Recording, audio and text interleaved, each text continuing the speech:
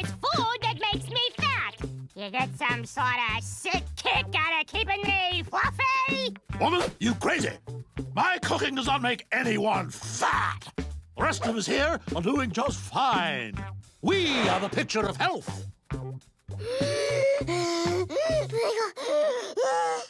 I rest my case. Everyone on diets. I don't make diet food.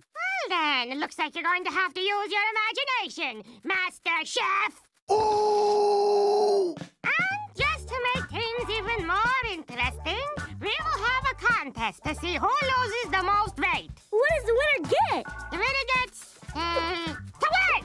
And that is enough! I want to win the contest. Don't encourage her. I will win, not you,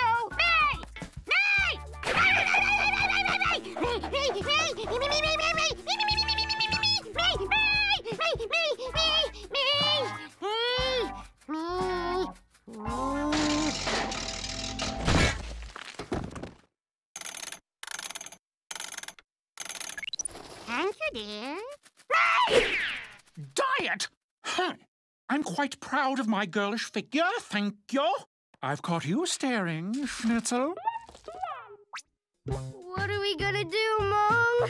What are we gonna do? Well, I do have one idea, but ugh, this stuff is nasty. What is it? What is it? Well, it's a food called flibber flabber, but you have to eat a ton of it to lose any weight. This is so exciting! We get to eat tons of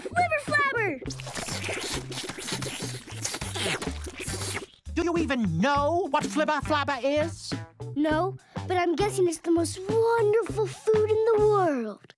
I love you forever, Chowder. I love you too, Flibber Flabber. The poor deluded kid.